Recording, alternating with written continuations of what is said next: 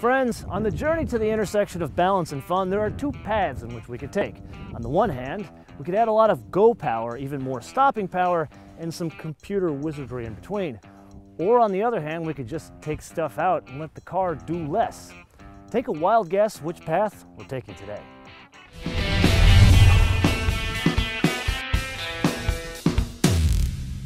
So Motoman wouldn't give us the car back. He's left me here to explain uh, the roller skate here to you. Uh, this is this is a naked MX-5 if you take away the body. Um, and uh, he wanted me to talk about the engine a little bit. Uh, this is a 2-liter Skyactiv engine, uh, same basic engine that you have in a Mazda 3 or a CX-3 or even the base CX-5. Um, we obviously made some changes to it to, to put it in the MX-5. Turning it north-south, we have to change the intake manifold and the exhaust manifold and the oil pan, engine mounts, that kind of thing. Uh, but internally it's the same. 13 to 1 compression. We've got a very uh, unique sort of set of technologies to let 13 to 1 compression actually coexist with, uh, with uh, street gas. Um, we've got a unique piston that's uh, it's got a very steep domed piston to achieve that 13 to 1 compression, but we've carved a, a little semicircular uh, cavity out of the top of it that lets the flame kernel start up and lets the, the combustion happen very quickly. The faster the combustion happens, the less likely it is to knock. Um, direct injection, variable valve timing, incredibly wide range of variable valve timing uh, on the intake cam so that we can actually run as a Miller cycle at light load. So we actually open the throttle completely at light load and control the engine power with cam timing. Um, I could go on forever uh, about the, the weird little details in this engine that make it so efficient. But really what makes it special uh, for the MX-5 is that we lightened the flywheel up a little bit. We uh, took about 20% of the inertia off the flywheel. And we also tuned it for much sharper throttle response by tuning it for premium fuel instead of regular like it is uh, in the rest of the cars. And premium fuel has a lot more knock resistance and in a quick transient, uh, when you snap the throttle open, that's when the engine is most likely to knock. And so you have to make the throttle uh, inputs a little bit uh, a little bit smoother uh, when you're tuning for regular gas. Uh, when we're tuning for premium, we can make it really sharp. So the throttle response is really strong on this. The mid-range torque is really strong, so it pulls out of a corner really well. I mentioned the manifolds and the oil pan to fit this uh, engine in the MX-5, but there's one very important change that we made uh, to make this engine really appropriate for sports car duty, uh, and that's changing the valve cover. Uh, the normally the valve cover is plastic. Uh, we figure when you open the hood on, on, on a sports car, you don't want to see a piece of Tupperware. Uh, so we actually made a new valve cover that's slightly heavier and slightly more expensive to make, simply so it would look right when you open the hood of a sports car. Wait a minute. What's that number again? 155. 155. I don't care what language you say it in. That is nothing. Who the hell in their right mind brings out a sports car in 2015 with 155 horsepower? Friends, once I picked my chin up off the floor and actually got behind the wheel of this thing, I immediately got it. And like all joking aside, you and I have known since the beginning of time for Miatas in 1989, these have always been about power to weight. But this ND, this is like a, a whole different religion. Get this. The car I am sitting in, which is not like a special race prep car or anything like that, this is a car that will turn up in dealerships. This weighs 2,340 pounds.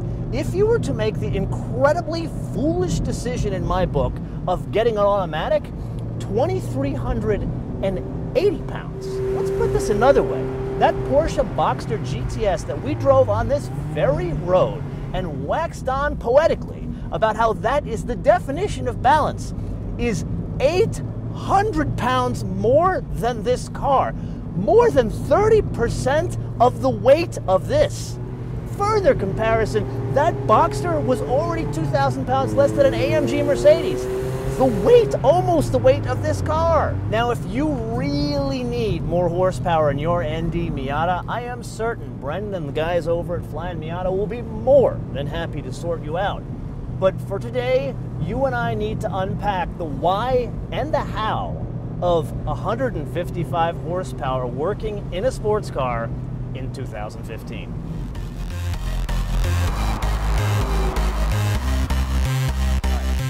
One of the little magic ingredients to make uh, a, less powerful, lighter weight car feel so strong and so responsive uh, is this power plant frame here. This is this aluminum truss that connects the transmission and diff. This has been on every Miata since the first generation and every rear-wheel drive car uh, that Mazda's made since we did since we came up with this on the first Miata. And what this is doing is this is allowing us to sharpen the throttle response in the car.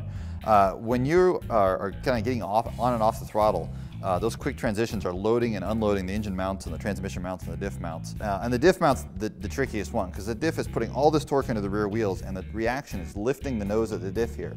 And so if you just have a rubber mount there, it's, it's having to hold the nose of that diff down. And you can make a really stiff mount uh, to hold that down, but then of course you have all these uh, gear noises transmitted into the car. So you have to make them soft and then you have this rubbery drivetrain. By connecting the, the transmission and diff with this rigid, pretty rigid frame, we're then holding the nose of the diff down with the entire weight of the engine. Uh, so that's much much easier uh, for us to hold, to hold things in place. We take all of those torque reactions and, and cancel them out. Uh, and now we have, we, are able to tune a much sharper throttle response without having all that wind up. Uh, and direct response, both in the, the throttle and the steering, is really what makes the car fun to drive and what gives you confidence when you're driving the car. The same thing's kind of going on in the, in the steering. We really work to make sure that the steering response is very linear. The car does exactly what you expect it to do. And this complicated multi-link rear suspension here uh, is is, part of that key. We've got two different kinds of sort of passive steering that go on in this rear suspension. One is, is called compliance steer. We've got all these rubber bushings and they're all tuned differently. And the way they comply when you put a side load on the tire can cause it, the tire to toe in or to toe out. Um, and then we also have a kinematic steer. So when the suspension goes up and down through its travel, uh, as the suspension compresses, does it steer it in or steer it out? What we've done with, with, the, with the previous car, we had two opposing steering forces going on. We would, we would have a, a, a, a, compliance toe out. So when you first put a side load on the, on the tire, it would toe out a little bit and kind of throw the car into the corner, and then it would roll uh, and toe in and stabilize the car. Um, they made the car very nimble, but it was a little bit unsettling for some people. So what we did to make this more predictable, uh, the compliance uh, steer toes in a little bit, uh, and then as the body rolls, it toes in a little bit more. They're both very subtle, but it, it, makes the car behave very linearly and gives you a lot of rear grip that you can really feel like you can count on, you can rely on as you go into that corner. And then, then we tune it so it has a really neutral balance through the middle of the corner. But having that really linear response as you turn the wheel really gives you a lot of confidence and makes, you, makes it possible to enjoy the car to its limit.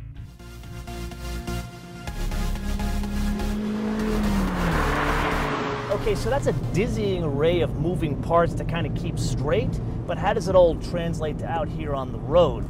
And rather than me tell you what you already know, let's unpack why this ND is more fun to drive and more balanced. And really, there are three reasons.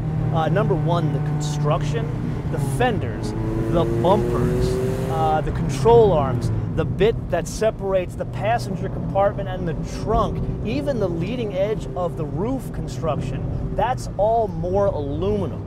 And the second piece, if you guys are familiar with Miatas since the beginning of Miatas, they've always had these power plant frames. Like Corvettes have a torque tube, kind of a similar concept. And the idea is, is really two things. Number one is to keep the car from twisting under load and to keep the car from like picking up when you really accelerate. More of a problem in cars like Corvettes, but you kind of get my drift. In this case, it is a it is a more simple piece, uh, but it is more rigid. And then third, and this is really interesting, is the rear suspension. It is still a dynamic, fancy multi-link unit, which we love, but instead of a toe in and toe out, which was more complex, this has toe in under two circumstances. So the overall effect putting all those bits together and then all the many other things we've kind of covered is you get so that Porsche GTS that we drove, remember that had no pitch, squat, dive, or roll, but that was a hundred thousand dollar car with many computer controls. This is a sub $30,000 car with limited computer controls. And really, this is you wanting to go around a corner and it's it's roll that you welcome because it's you planting the ass end of your car where you want it. Get it? So way back in the day of 1989 when Mazda introduced the Miata, it was a very different car company than it is today. Effectively, it was a group of engineers sitting around in a room that came up with a cool car. And there was a couple of car guys in there as well. Um, but take a look at, for example, the, uh, the door handles on an NA Miata, unlike any other Mazda of the time. Now fast forward to today and I don't want to say it's it's business, but it kind of is. It's a healthier car company because now they've got like a cohesive strategy of how do you interact with a car. Like take a look at this unified controller down here. This comes straight out of the Mazda 3, like with that iPad thing up there as well. And you would think, oh, it's like part sharing, but the reality is uh, it's made this interior, believe it or not, more simple like the NA, unlike the NC. So in essence, it's kind of like going back to the future.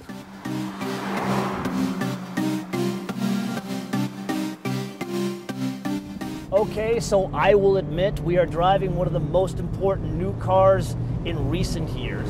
And we are doing so in top secret Moto Canyon. Let's just say this is an incredibly good day at the office, but we still have to talk about the interior. And this is where like Mazda has done this like dash theme before. We saw it on the Scion IA and uh, you and I are going to see it on the uh, CX3 soon. But the idea is to kind of slim out the interior. But there is a further trick here, which is very cool. This body color thing, so whatever you choose on the outside, so this is Soul Red in this case, they bring it into the interior and it even goes underneath the A-pillar.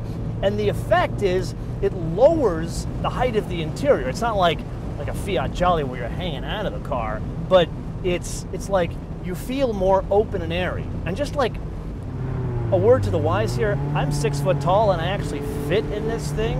Uh, there is a weird adjustment here. This the seat adjustment. It's not a height adjustment and it's not a thigh adjustment. It's like a combination of height and thigh. It just adjusts the, the, the front height of the seat, but it's not the seat that's moving. It's it's like the seat cushion is pivoting. It's very odd, but I digress. Anyway, uh, there's one key thing about this interior, other than this this body color trick. Notice where the cup holders are. There's one here, and there's one like here. You got to be like a pterodactyl to be able to get to this one. And this I have to steal a line from Dave Coleman. Our, he calls himself the official Miata nerd. Uh, he was like, you know what? Shifting is more important than drinking.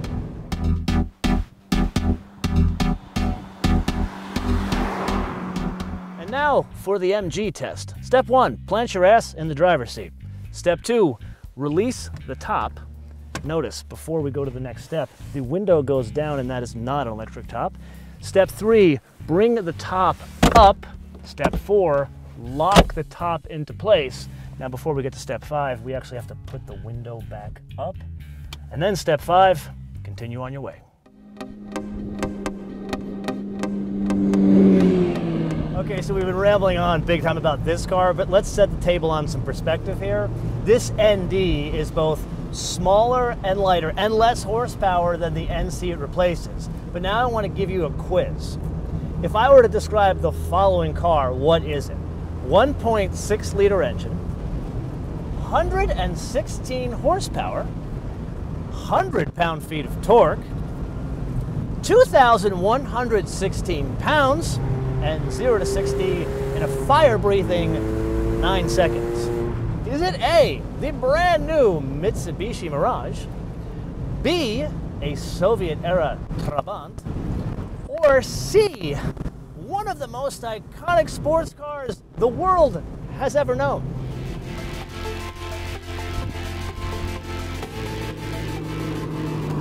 The car we've been driving in this film thus far is not the biggest, baddest Miata out there. This is kind of the middle of the road model. This is the Club Sport, but it is the one you and I want because it has upgrades, mechanical upgrades for car guys. Uh, number one, the suspension. It's got Bilstein dampers. Number two, it's got these strut tower braces here, so if you're gonna track the car. Then there's some aero mods, like you got the air dam in the front, the side skirts, a spoiler in the back, and some other bits there.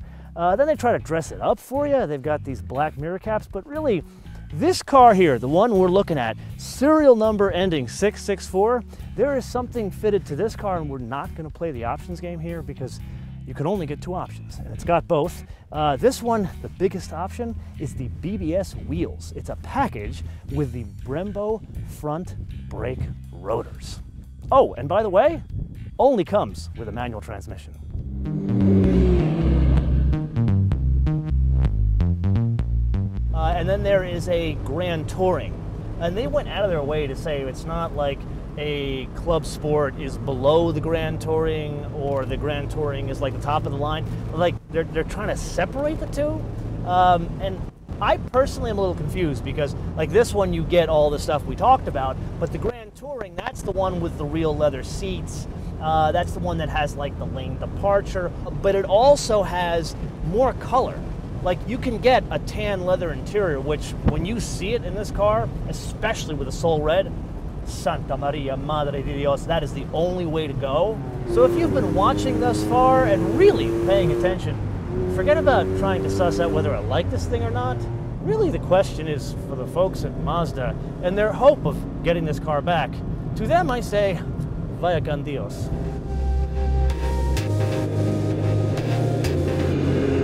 Summary, what do we got? Well, with Mazda's move to the ND Miata, what they have effectively accomplished, friends, who the hell am I kidding? This is very good. It's actually much better than you think it is, and frankly, you need to drive it. End of story. So with that, let's move on to how to improve a car that frankly, I don't know how to improve. Remember that whole Grand Touring v Club Sport debate we kind of had? Um, I actually brought that to the high commissioners of Mazda. And I said, hey, what's going on here? And they flat out didn't say no to the concept of a Grand Touring Club sport. They said, we're monitoring the situation. So you know what that means. I'm going to turn this around to you guys. Do you guys want to see a Grand Touring Club Sport? So like some fancy stuff in the Club Sport car, or at least the one I would want is the leather interior, the tan leather interior of the Grand Touring in the Club Sport like we've been driving here. So let us know in the comments below or via our social media, Motoman TV all one word, Motoman TV all one word, Facebook, Twitter, and Instagram, and we will take your feedback to the powers that be at Mazda, and hopefully we can have some sort of derivation of the bits of Grand Touring in the club sport, at least that color interior.